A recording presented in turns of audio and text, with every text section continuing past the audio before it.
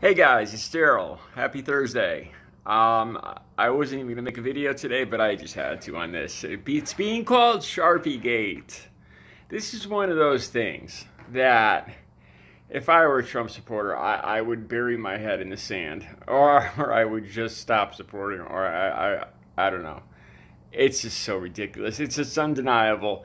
All right, if you haven't heard yet, Trump's uh, propensity to always exaggerate everything as if he's doing battle with the hurricane, exaggerated the hurricane. He came out, and uh, as usual, he was he was giving his version, playing weatherman, and giving his version of where Hurricane Dorian was going to affect. And as usual, he exaggerates to make it sound like he's going to have to do battle with this massive hurricane, which he did. There was no need to exaggerate it, but he did and he said it was gonna put some hurt, is his words, and uh, it would uh, directly affect Alabama. Okay, this was uh, I believe this was August first, about five six days ago. Okay, and the next day, the weather, the National Weather Service comes out and says, uh, no, we never said that. It's not going to affect Alabama. Never was gonna, never projected to. It was gonna turn north. There was no, it was it was in no way, shape, or form going to affect Alabama. Now, we all know that Trump has this archaic belief that ever admitting that he is wrong or taking blame for anything is a sign of weakness. So what's he do? He lies. And he lies. And he says, uh, he's that in fact it, you know there are some forecasts that did say that and you know and he just goes on. Now it, turns out he committed a felony by by continuing to push this to go on the national on national TV and push a fake forecast is a felony. I forgot the uh, i forgot the the number of it but it gets oh it gets worse. It gets so much worse then I think it was yesterday, two, three days ago, August 2nd, August 3rd. He's in the Oval Office. He pulls out a giant weather map with a cone of uncertainty. And people start to notice that it actually has a magic marker in Sharpie now this this is on every freaking you know this is this go ahead get it out of your system Trump supporters. Oh, it's fake news. No, no.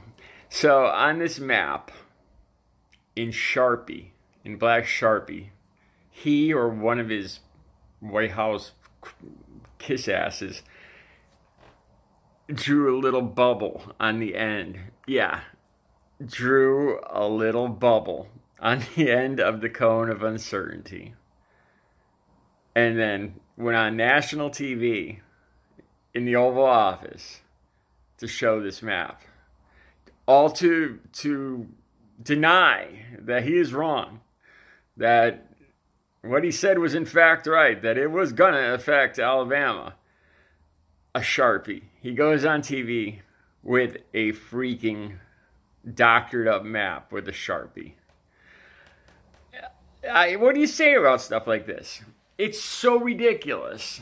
It, this isn't about immigration or the wall or the economy or tariffs, serious things that we can debate. This is just the height of egotistical stupidity. You know, now what if he he never he never admits he's wrong? Like um, he's blaming everything on the Fed now the man he himself picked to chair to be the chairman of the Fed.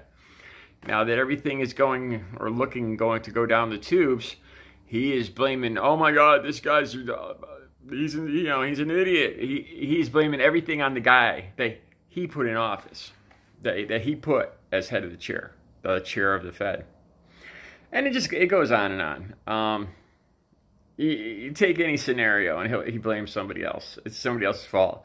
It's his own people's fault. It's Obama's fault. It's Hillary's fault. This is Democrats' fault. It's lying news.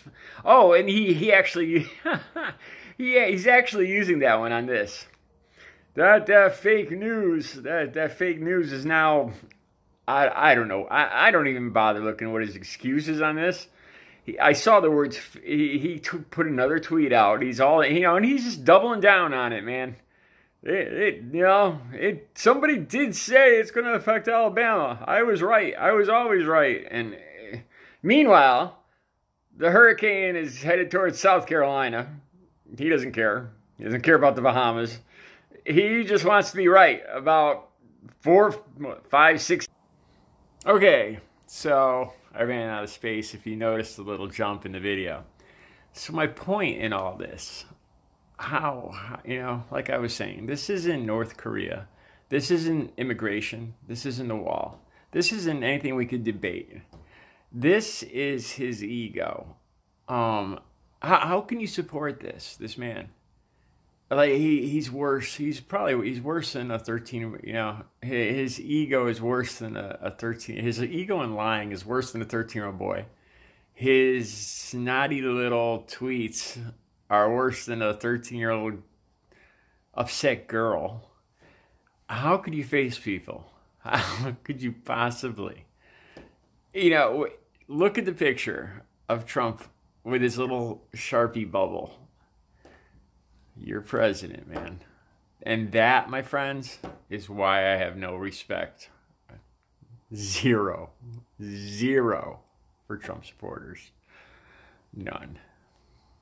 Have a good day.